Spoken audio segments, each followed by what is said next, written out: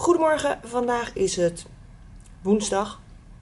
En ik wil vandaag eigenlijk nog eventjes naar het winkelcentrum om wat spulletjes te halen. Ik wil namelijk gaan beginnen met mijn diamond painting.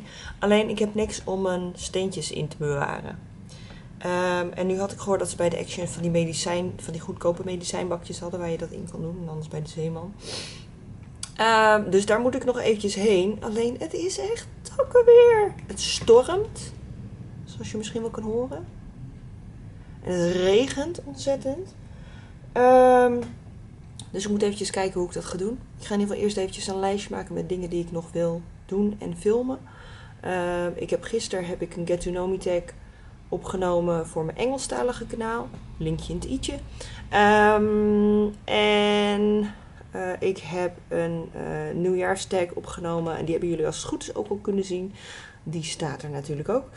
Um, maar ik moet nu dus eventjes kijken wat ik verder nog wil opnemen. Ik wil een postcrossing video gaan opnemen. Ik twijfel alleen of ik die op mijn Engelstalige of mijn Nederlandstalige kanaal wil doen. Toen ik hem namelijk in het Engels deed, werd hij namelijk veel meer bekeken dan mijn Nederlandstalige. En uh, aangezien ik ook sneeuwmail wil doen, die wil ik waarschijnlijk gewoon in het Nederlands doen. Dus ik kan ervoor kiezen om een postcrossing op mijn Engelstalige kanaal te doen en mijn sneeuwmail op mijn Nederlandstalige kanaal, omdat dat veel persoonlijker is. En op het moment dat het echt over persoonlijke dingen gaat, dan denk ik dat het handiger is om het gewoon in het Nederlands te doen. Uh, maar daar heb ik ook wat spulletjes voor nodig, dus daarvoor moet ik sowieso ook nog naar de action. Uh, dus ik ga eventjes een soort van boodschappenlijstje maken met dingen die ik nodig heb. En een lijstje maken met uh, wat ik wil gaan doen. Morgen ga ik sowieso eventjes met mijn moeder mee naar Ikea. Ehm nou ja, het is nu nog hartstikke donker. Ik kan nog niks filmen, dus ik ga eerst eventjes ontbijten en even een lijstje maken.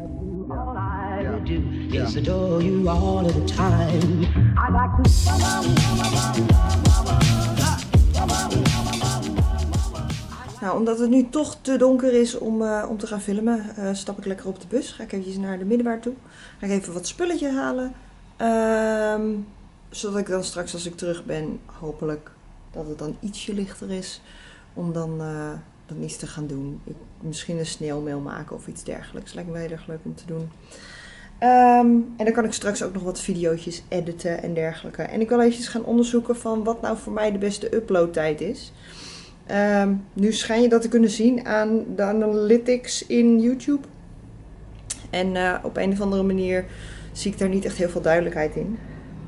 Maar het kan dus zijn dat mijn uploadtijd verandert van 7 uur s ochtends naar ergens in de middag. Maar dat is dus een beetje afhankelijk van of dat nuttig is of niet. Um, ik ga naar de bushalte lopen. En ik neem jullie mee. Ik heb ook een nieuw SD-kaartje nodig. Want ik merk dat mijn SD-kaartje af en toe schrijffouten maakt. Waardoor ik dus allemaal dubbele... Uh, dat het geluid heel raar dubbel over elkaar heen valt. En dat het originele geluid dus verdwijnt. Dus daar moet ik even een SD-kaartje voor hebben. En... Ja, ik, ik ga gewoon naar de middenwaard en ik neem jullie mee. Nou, ik ben eventjes op en neer geweest naar de middenwaard. Ik heb even wat spulletjes gehaald. Uh, waaronder van die medicijndoosjes voor mijn diamond painting. Dit soort doosjes. Super handig. Um, ik heb spulletjes voor uh, sneeuwmeel. Ik heb uh, een nieuwe placemats, want die waren in de aanbieding bij de Zenos. Altijd handig om extra te hebben, want we willen onze mooie tafel natuurlijk wel mooi houden. En um, ja, verder heb ik eigenlijk niet echt veel boeiends gekocht. Um, het was zo ontzettend vies weer dat ik gewoon bij de bushalte bijna omvergeplaatst werd. Uh, Paul die staat nu beneden hout te draaien. Ik weet niet of jullie dat horen. Het is echt zo'n hele monotoon gebroem op de achtergrond. Dus dat betekent dat ik nog niet kan gaan filmen. Maar ik kan misschien wel iets met mijn bullet journal gaan doen. Om te kijken of ik die weer een beetje kan. In ieder geval voor januari uh, uh, kan gaan gebruiken. Ik ben, er, ben er in augustus mee begonnen. Um, maar vervolgens heb ik hem laten liggen en er eigenlijk niks mee gedaan. Maar omdat mijn YouTube kanaal nu toch best wel loopt en zo. En ik daar een aantal dingen aan wil veranderen. En dat wil bijhouden. Is het misschien handig om in ieder geval wat lijstjes te maken. En ik moet wat dingen gaan plannen. Eerst ga ik eventjes een pannenkoek eten. Want ik heb nog een pannenkoek van gisteren over. Ga ik eventjes eten. En uh, dan gaan we gewoon even wat dingetjes doen. En dan zien we wel hoe de dag gaat lopen. Nou, ik heb mijn uh, bullet journal er eventjes bijgepakt. Om te kijken wat ik daarmee kan. Want ja, ik heb een 10, 15, kijken, 18 bladzijden of 17 bladzijden heb ik gebruikt.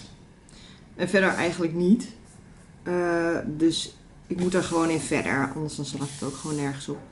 Ik ga geen nieuw, uh, nieuw boekje kopen, alleen maar daarom. Uh, maar ik zal eventjes laten zien wat ik er tot nu toe in heb zitten. En dit was voor mij ook mijn allereerste bullet journal, dus hè, uh, be kind. Ik heb een, een index erin zitten. Even kijken, ik had ook ergens een... Zit hier. Ik heb hier een keylog erin zitten.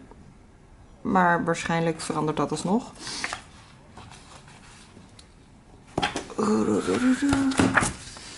Wat ik ook niet fijn vind van deze journal is dat hij gewoon elke keer weer dichtflapt en zo. Uh, maar ik heb dus mijn index. Verder heb ik hier niks. Dit is eventueel een vervolg voor een index. Hier zou ik de jaarkalender in kunnen doen. Nou, ik kan dus nu gewoon beginnen van januari tot uh, het einde van het jaar. Veel, dat is mijn... Um, iets over leraarsgedrag. Daar zou ik eventueel hier het schema van in kunnen zetten. Dit is wat er al standaard in zat. Toen heb ik een future log gemaakt vanaf augustus. Maar ja, vanaf augustus heb ik eigenlijk niet zo heel veel meer gedaan. Het is nu januari. Ik ben hier ook niet verder mee gegaan verder. Dus dit zou eventueel nog een future log zijn. Um, dan heb ik hier augustus.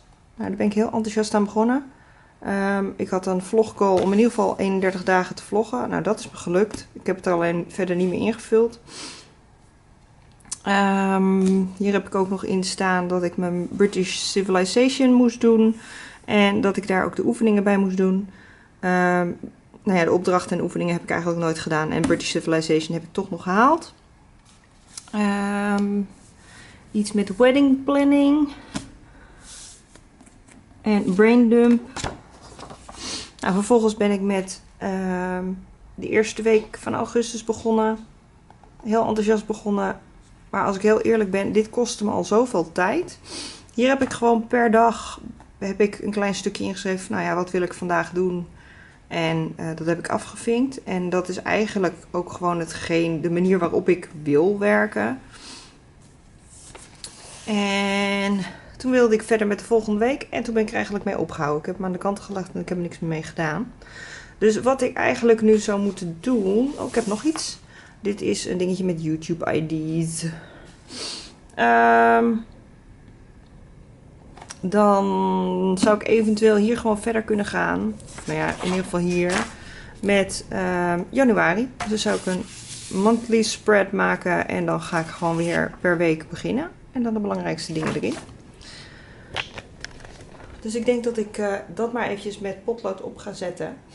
En uh, dan als Paul klaar is met uh, herrie maken, dan ga ik denk ik eventjes een filmpje opnemen. Want ik wil mijn postkorsing video gaan opnemen. Wat wel grappig is om te zien, is dat ik in de eerste week, uh, of nou ja, op 6 augustus, um, had ik 117 volgers op Facebook. Dat zijn er inmiddels 200. Op Instagram had ik er 251. Daarvan weet ik niet precies uit mijn hoofd hoeveel het nu zijn. En op uh, YouTube had ik 140 abonnees. En dat zijn er inmiddels 360. Dus daar is wel degelijk wat aan veranderd. Dit ga ik ook zeker wel weer in mijn, uh, in mijn volgende maand spreads zetten. In plaats van dat ik het dan wekelijks bijhoud, ga ik het gewoon maandelijks bijhouden. Want ik ga het toch niet dagelijks in de gaten houden.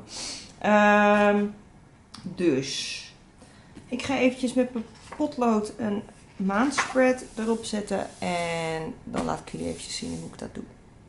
Nou, wat betreft dat bullet journalen, ik heb totaal geen inspiratie. Uh, dus ik heb een uh, soort van uh, milestone tracker heb ik gemaakt. En ik heb hier eventjes een begin Hello January, Hello 2018 gemaakt.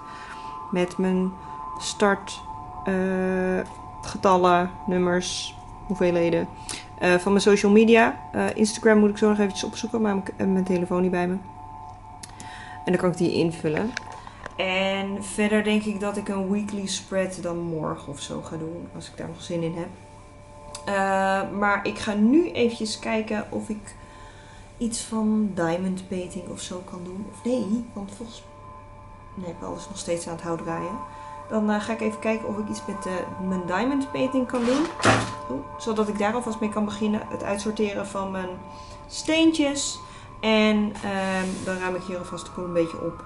Want met al die pennen en stiften en dingetjes en zo wordt het ook zo ontzettend rommelig. Um, dan hoop ik dat Paul snel klaar is, want ik moet nog even een video opnemen. En dan kan ik daarna al mijn video's die ik heb opgenomen nog eventjes gaan editen.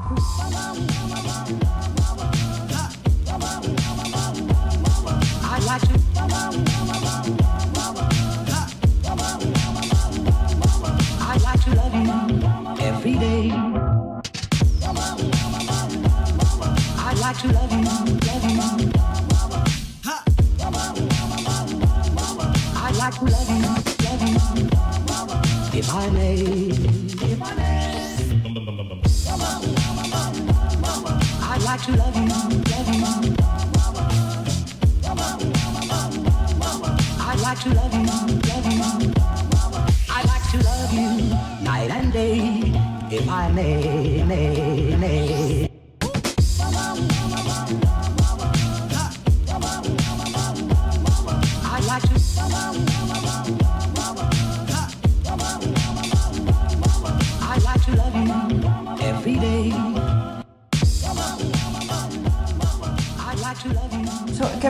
Allemaal uh, postcrossing kaartjes geschreven. Ik moet nu nog eventjes het outrootje opnemen. Maar het begint eigenlijk al te schemeren. En het is gewoon kwart voor vier. Hoe dan? Uh, ik denk dat het gewoon te maken heeft met het deprimerende weer. Maar dat maakt niet uit. Ik ga het outrootje opnemen. Ik ga nu nog mijn postcrossing video in Nederlands doen op mijn Nederlandstalige kanaal. En mijn postcrossing video voor de volgende maand komt dan op mijn Engelstalige kanaal. Omdat postcrossing toch wel een internationaal ding is. En ik op die manier denk ik ook wel wat meer publiek kan bereiken. Um, want op het moment dat ik kaartjes bespreek van, um, van mensen alleen maar in Nederlands, dan hebben mensen die de kaartjes hebben verstuurd. Of mensen die, uh, aan wie ik kaartjes heb verstuurd, die hebben er dan ook helemaal niks aan. Um, ik ga nu eventjes het autootje opnemen en dan kom ik zo bij jullie terug. Ik heb trouwens echt super leuke uh, kaarten ontvangen. Dus daar ga ik zo nog eventjes een klein stukje van opnemen. Dan laat ik zo ook meteen even aan jullie zien. Mijn camera wilde er net eventjes niet aan. En dan raak ik toch wel een klein beetje gestrest. En um, zoals jullie wel weten ben ik al op zoek naar een andere camera. Want deze camera is alweer vijf jaar oud. Komt uit 2013. Uh, het is inmiddels 2018, is, is, is inmiddels alweer 5, 4,5 5 jaar oud. Uh, dus ik ben ook echt wel toe aan een nieuwe camera. En zeker op het moment dat hij opeens niet meer aan wil, dan, nou, dan schiet ik gewoon in de stress. Um, ik begin een beetje last van mijn rug te krijgen van het zitten aan tafel. Ik ga dan heel erg voorover zitten leunen. Uh, ik wil nog een videootje editen voor morgen. En ik ga zo nog eventjes heel snel een kleine boodschap opnemen. Want ik wil namelijk mijn um, uploadtijd gaan veranderen. Ik merk namelijk dat um, mijn video's niet zo heel erg goed bekeken worden.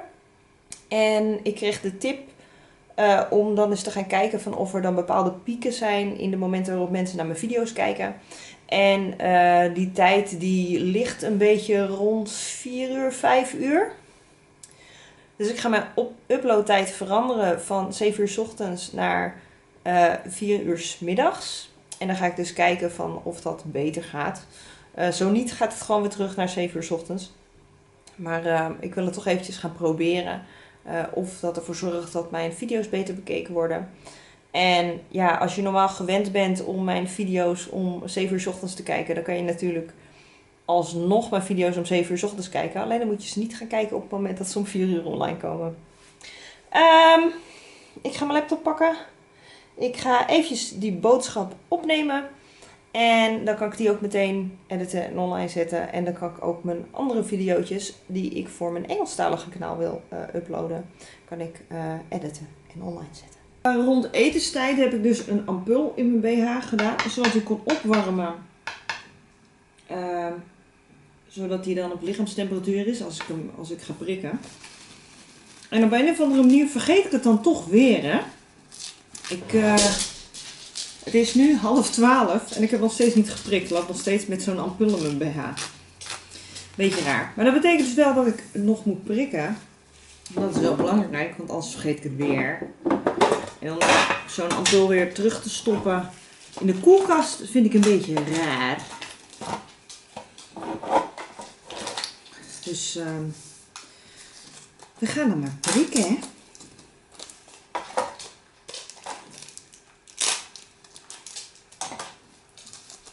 Voor de mensen die het niet weten, ik heb een chronisch vitamine B12 tekort. En daarvoor moet ik dus mijn uh, vitamine B12 aanvullen uh, door het te injecteren.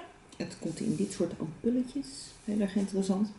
En um, eigenlijk moet ik het twee keer in de week prikken. Um, ik ben al blij als ik het één keer in de week onthoud. En het lukt om, uh, om te prikken.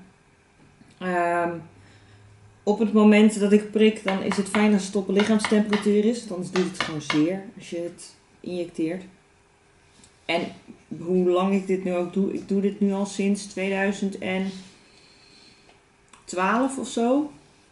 En het went nooit. Ik, uh, ik vind het nog steeds vreselijk. Ik ben er nog steeds niet handig in.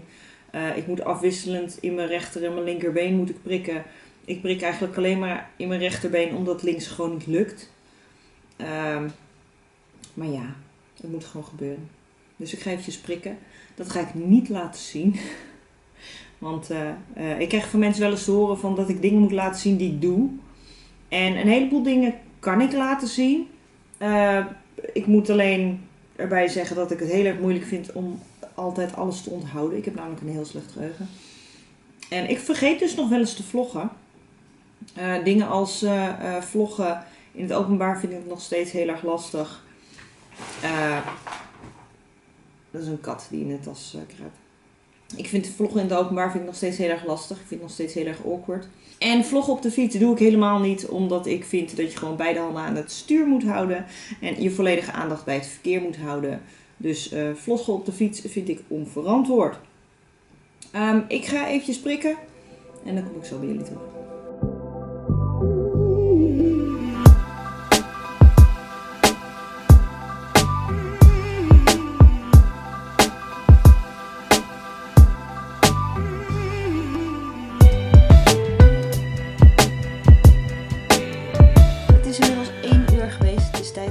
Slapen. Ik ga bij deze de vlog dan ook afsluiten. Uh, ik moet morgen namelijk uh, nou ja, niet zo heel erg vroeg op als Paul. Uh, Paul moet werken. Ik ga met mijn moeder en mijn zus naar Ikea toe. Dus ik word morgenochtend niet al te laat opgehaald. en ik ga jullie weer meenemen. Dus ik ga bij deze de vlog afsluiten. Ik hoop dat jullie hem leuk vonden. Geef hem dan een duimpje omhoog. Vergeet je niet te abonneren als je dat nog niet hebt gedaan. En dan zie je me morgen weer. Doei!